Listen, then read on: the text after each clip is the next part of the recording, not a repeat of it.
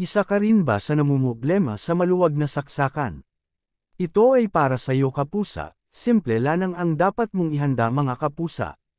Isang flies lang katapat niyan, at kung bago ka lang sa aking channel ay huwag mo naman kalimutang subscribe ito at pakiclick na din dyan ang bell button para updated kayo pag may bago akong video.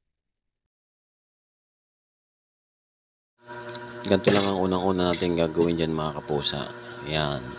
Kailangan natin kumuha ng plies. Ha? Kung plies, kung lungnos. Yan. Para sumikip siya sa kanyang saksakan, ang gagawin lang natin dyan ay ganito. Ayan. Kumuha na nga ako ng plies. Babaloktutin ko na ngayon. Ayan. Ayan siya. Babaloktutin ko ng patulis. Yan. Oh, malambot laang. Op, yung kabila din. Ayun. Op, nagkulay triangle na. Ay, ngayon may ikutin ko yan. Babalik uli.